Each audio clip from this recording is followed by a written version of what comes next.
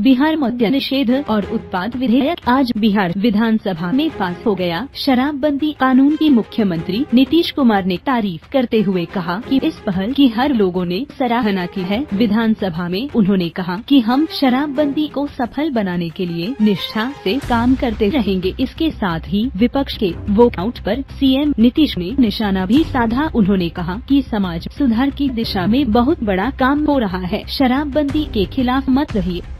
जब शराबबंदी कानून लाया गया, उसमें हर दल की सहमति थी। बिहार में पूर्ण शराबबंदी कानून में कुछ बदलाव किए गए हैं। पहली बार शराब पीकर पकड़े जाने पर पचास हज़ार का जुर्माना या तीन महीने की जेल की सजा दूसरी बार पकड़े गए तो एक लाख का जुर्माना और पाँच साल तक की जेल हो सकती है।